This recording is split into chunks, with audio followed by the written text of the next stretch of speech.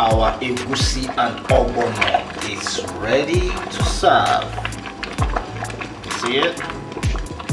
Today I have this egusi and ogbono. This is confirmed original egusi, not be that type I be they cook before. This now confirmed from Bani, you understand? And this is ogbono, bush mango. This is melon seed. Put them into the stock at the same time and let them cook together at the same time, my dear you will enjoy this. These are my ingredients. I have my goat meat. I have my goat meat and my shaki, properly cleaned, washed.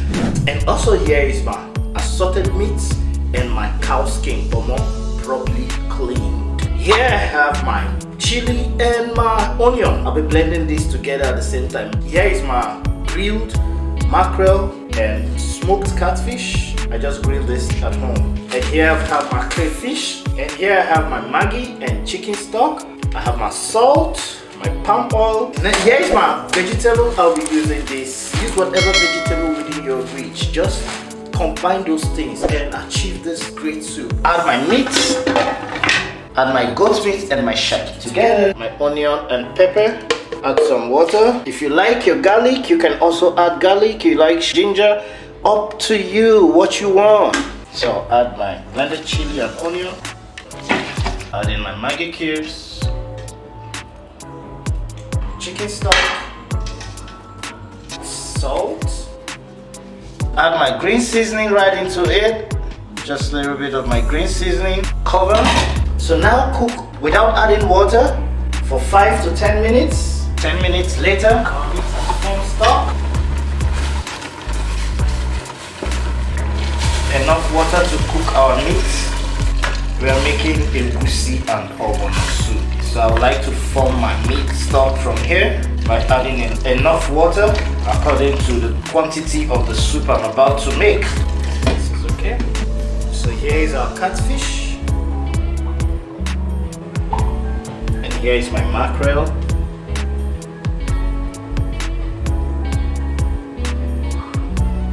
So here is our fish, properly deboned, set aside. Scoop out the amount I need. Some palm oil. Coat it round to dissolve. Let's add the oregano here. Make sure you place it properly so it doesn't and cover this. The fish roughly blended. Let's chop this into bit sizes. Thank you for subscribing and if you have not subscribed please I appreciate you to subscribe. Thank you. Also uh, assorted meat. Just cut it into bit sizes. Back to our meat. Careful. Very good. Take it out. What I want to do now is to add in my pomo, my cow skin. Add in the assorted meat. This is so easy to make, folks. And you will never go wrong, you know? This method, everything is in place. Let's top up our crayfish. I just halved it. Ice fish, like the goldfish. Add it in and stir properly. More water.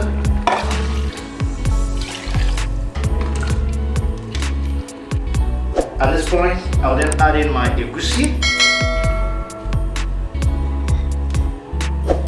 Also, our ogbono at the same time together.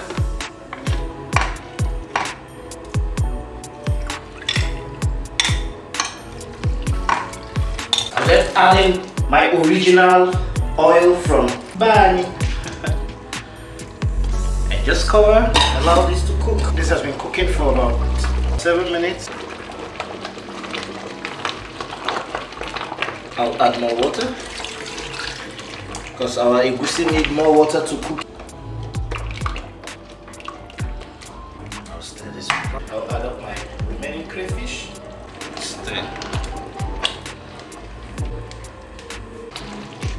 cover and let it cook. While that is cooking, let's prepare our vegetables. So here is our vegetable properly chopped. Let's get back to our pot. Yeah.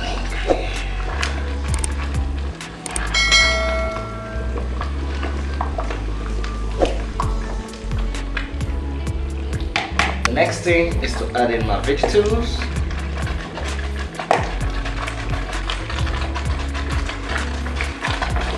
Yes, that is a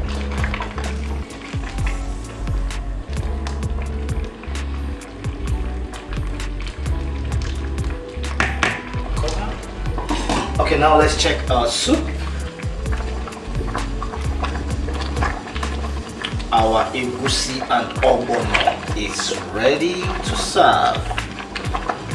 See it? Oh,